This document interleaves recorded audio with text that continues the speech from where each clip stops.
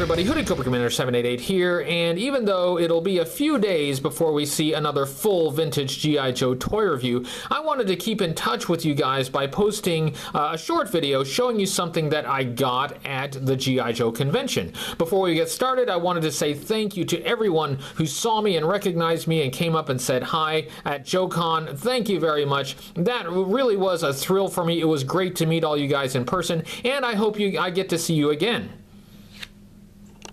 So let's take a look at this small vehicle, the 1985 Cobra Ferret ATV, and this has a surprising number of features for such a small vehicle. It has these uh, missiles, uh, two of them, and they're sort of like two-way missiles. I'm not sure how those are supposed to work, but maybe we can try to figure that out when we do a full review of this in the future.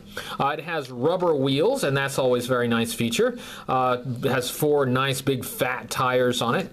Uh, it has this cannon here in front uh, that is synchronized and will turn when you turn the handlebars, so that's pretty cool. Uh, it'll also uh, elevate, so that's nice. Has a really big cannon here on the side. Uh, it has a uh, compartment cover here in the back.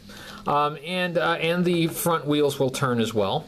Uh, lots of nice detail, and this uh, vehicle did feature pretty prominently in G.I. Joe media, so we'll have a lot to say about it.